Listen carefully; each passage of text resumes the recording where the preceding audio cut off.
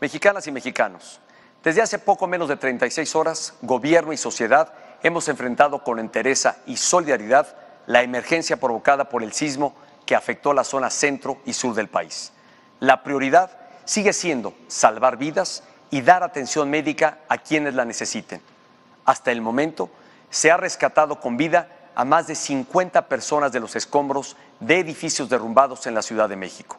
Los equipos de auxilio trabajan para ubicar y rescatar a las personas que hasta este momento se reportan como extraviadas en Puebla y en la Ciudad de México.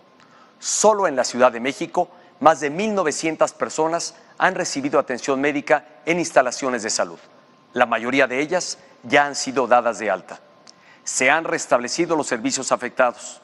La Comisión Federal de Electricidad ha restituido el servicio eléctrico a 95% de los casi 5 millones de usuarios afectados. El Aeropuerto Internacional de la Ciudad de México ya también opera con normalidad. Hemos habilitado albergues en las entidades afectadas que tienen capacidad para recibir a toda la población que así lo requiera.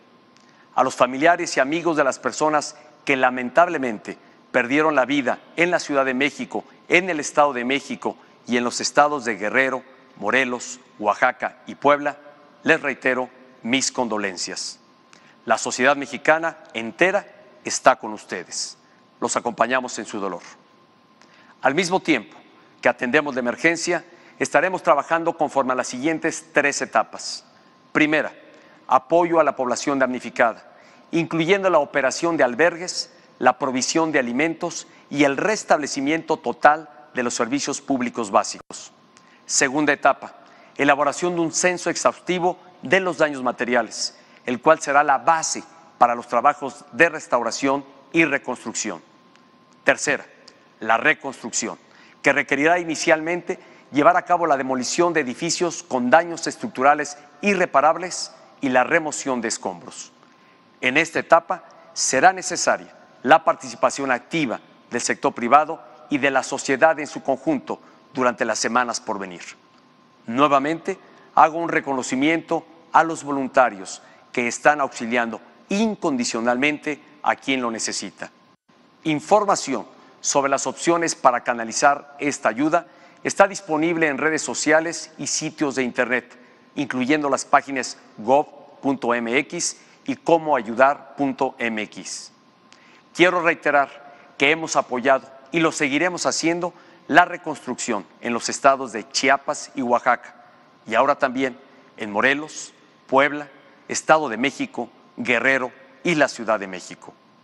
En nombre de nuestro país, agradezco los miles de mensajes de solidaridad y de aliento provenientes de todas partes del mundo.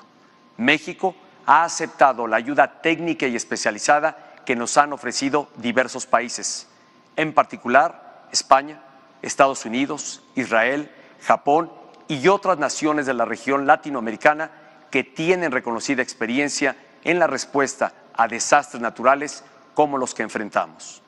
También agradezco, en nombre de México, la solidaridad y el apoyo de las empresas que están haciendo donaciones o permitiendo el uso sin costo de sus instalaciones y servicios en beneficio de la población afectada.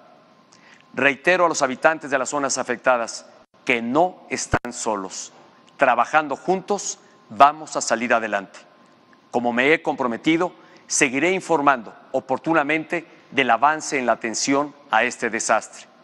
Ante la fuerza de la naturaleza, todos somos vulnerables y por eso todos somos uno cuando se trata de salvar una vida o ayudar a una víctima. Si algo distingue a los mexicanos es la generosidad y la fraternidad.